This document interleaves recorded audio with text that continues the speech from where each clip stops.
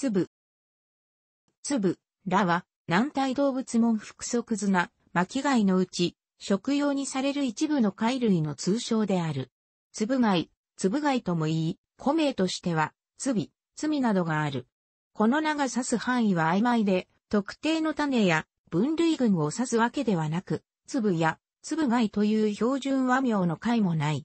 水産市場で粒、粒貝と呼ばれるものの多くは、エゾバイカの種であが、同一種でも地域によっては別の名がある場合もある。エゾバイカの貝類は、唾液腺にテトラミンという毒素を持つ種類があり、該当部位を正しく除去せず食べると食中毒を発症することもある。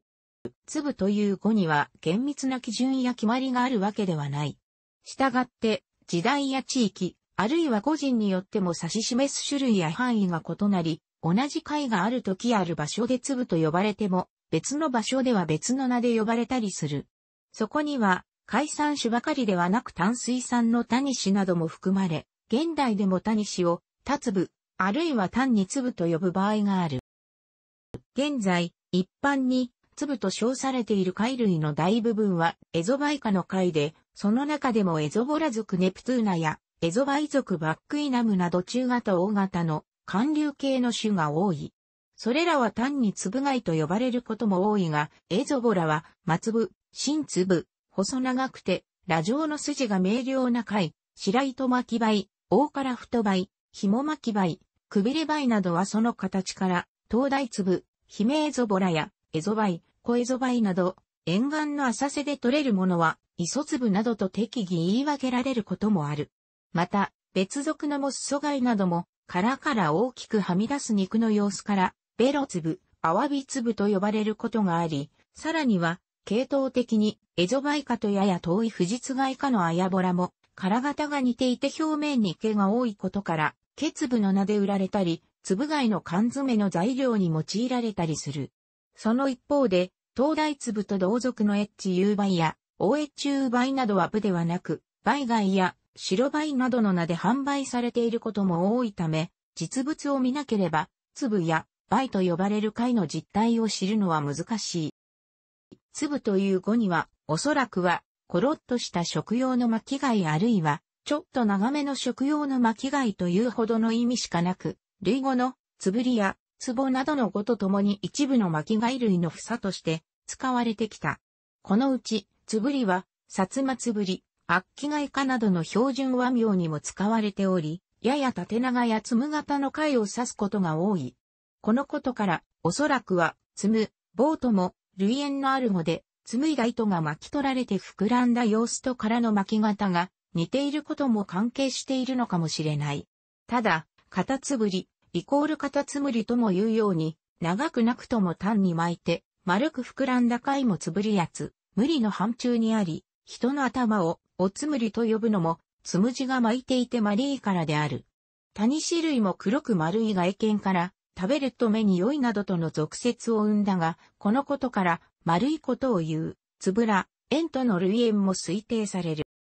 一方、壺という語は、現在は微小な貝の標準和名にしばしば使われている、リソ壺茶壺などが、壺、壺に類縁があるとも言われる。壺を作る際、粘土を紐状にしたものを巻いて、とぐろを重ねるように形成する方法があるが、これと貝の巻き方に共通性を認めたためではないかとの説がある。つまりは長いものなどがぐるぐる巻かれて、丸く膨らんだつぶらな形状が、粒、つぶり、つむり、つぼ、つび、つみなどに共通していると言える。肉は、アワビやサザエに比べるとずっと柔らかいものの適度な歯ごたえがあり、ほのかな旨味と甘みのある、やや淡白な味のものが多く、様々な料理に使うことができる。本場とも言える北海道での代表的な調理法の一つは、焼きら、焼き粒で中身を引き出して内臓を除き、エゾバイカのものであれば唾液腺を取り除いてから殻に戻し、網の上で焼きながら醤油など調味料を垂らし食べるものであるが、その香ばしい匂いで客を誘う、つぶ焼き屋台などは、当地の風物の一つである。その他串焼き漬け焼き、ぬた、塩茹で和え物、あるいはサラダや、寒い時期には、おでんなどもうまい。刺身や寿司などにもよく使われ、回転寿司などに用いられるのは冷凍のむき身で、輸入れたヨーロッパエゾバイなどが多い。エゾバイ属バックイナムの種は、比較的肉が柔らかく刺身や寿司ネタでビミ、エゾボラ属ネプトゥーナの種はやや歯ごたえがある。エゾバイ科のものは、唾液腺に弱い毒、テトラミンを含むため、唾液腺を除かないまま多量に食べると中毒してしまう。命に関わることは、まずないが、交感神経刺激と運動神経末梢麻痺、例えば酒に酔ったような症状、視力低下、賛動、頻脈等を起こすので注意が必要である。テトラミンは熱に強く、水溶性。調理しても毒性は弱まらず、他の可食部や煮汁にも移行する。映画武士の1分では、毒味役の三村新之丞、木村拓也が失明するが、これは、粒貝の毒に当たったことになっている。また最近、または、ウイルス性の食中毒、特に A 型肝炎防止の観点から持ち帰り用寿司を発売している寿司屋では、夏場の持ち帰りでの粒貝の発売を自粛し、セットに含まれている場合は、ネタの差し替えを行っていることがある。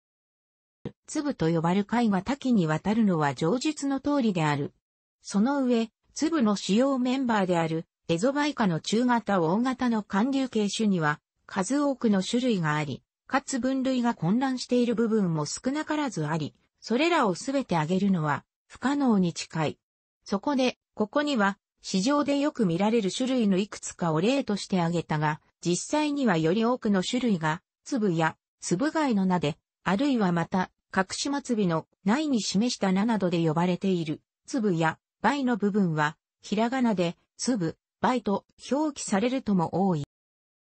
谷鹿。富士津大化、エゾバイ化、バイ化。楽しくご覧になりましたら、購読と良いです。クリックしてください。